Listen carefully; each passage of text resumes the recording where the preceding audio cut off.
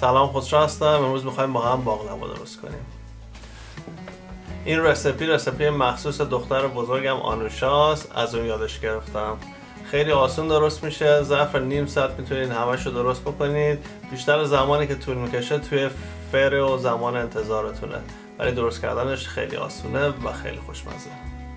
مواد اولیه برای درست کردن باقلوا کره شکر اصل آب لیمو آب دارچین گردو و خمیر فیلو. این دستوری که روی خمیر فیلوتون نوشته رو مو, مو اجرا کنید.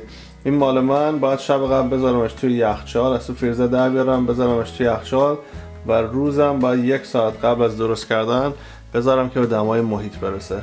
ولی شما هر چی که روی خمیرتون نوشته همون انجام بدین. خب الان باید شربتش رو درست کنیم. برای شربتش شکر و اصل و آب لیمو آب لازم داریم.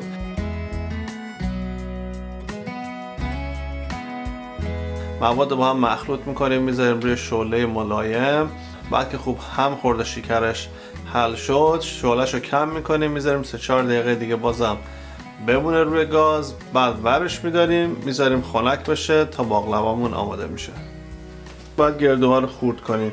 اگه توی قصدگاه غذا ساز میریزین باید چند بار این دکمه پاسش رو بزنین که خیلی خورد نشه. خب گردون رو منتقل می‌کنیم به یه کاسه و دارچین رو بهش اضافه می‌کنیم. بعدم خوب به همش می‌زنیم. خمیر فیلمون رو به آرومی از تو جعبش در میاریم و اینجا روی تخته پهن می‌کنیم و از وسط نصفش می‌کنیم. خب بستگی به اندازه ظرفتون این خمیر رو باید ببرین. این الان من اگه از وسط نصف کنم اندازه ظرف من میشه.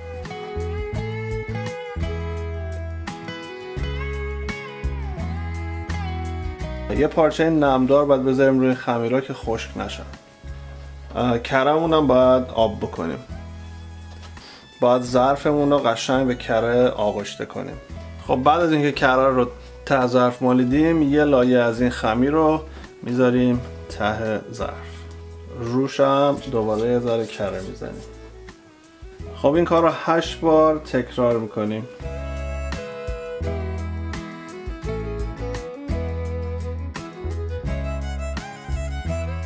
راحت ترین روشش اینه که اینو بذارین روی ظرفتون تنظیمش بکنید و آروم رو بکشین داخل ظرف.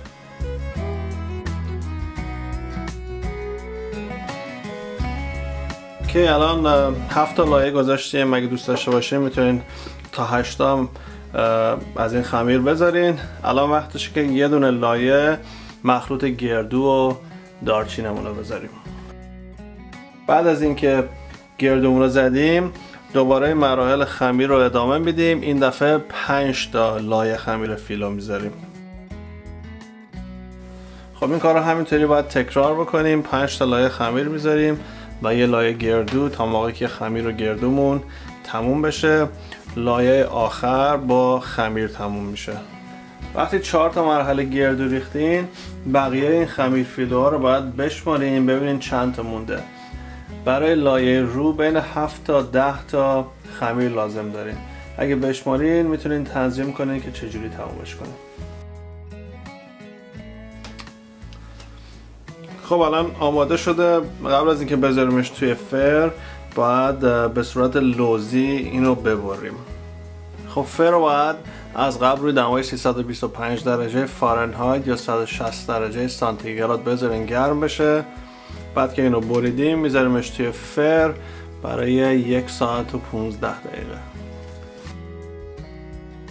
خب باقلوامون آماده است. از تو فر همین الان درش بردیم این شربت رو باید بریزیم روش و لابلای باقلوا. ها باید حداقل اینو بذاریم 4 ساعت بمونه بعد سروش کنیم. یکم که این خنکتر شده به دمای محیط رسید اگه ظرفتون در داشت درش رو بذارید اگه نباید تلفن یا چیزی روش رو ببندید خب باقلوامون آماده است. روش آماده که با هم امتحانش کنیم.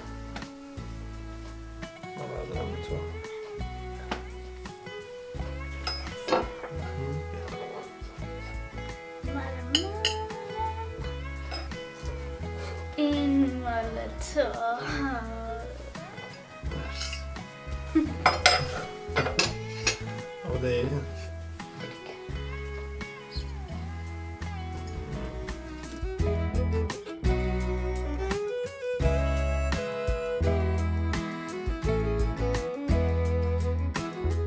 چطور بود؟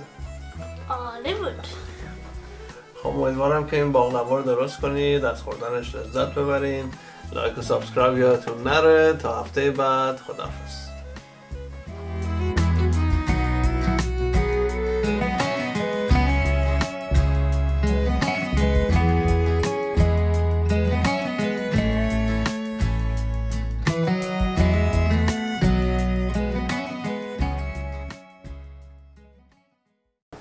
خب امیدوارم که این غذا رو درست غذا نیست. خب امیدوارم این باقلوا یا دسر بریم. این دوباره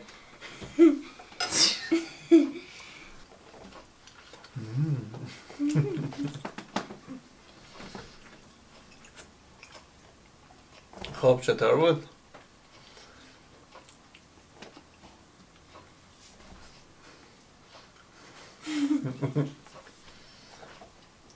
خب چطور بود؟ خب امیدوارم که شیرینی رو درست کنید از خوردنش لذت ببرین. خیلی ساده درست میشه و خیلی هم خوشمزه است. like و subscribe یادتون نره. تا هفته بعد خداحافظ. peace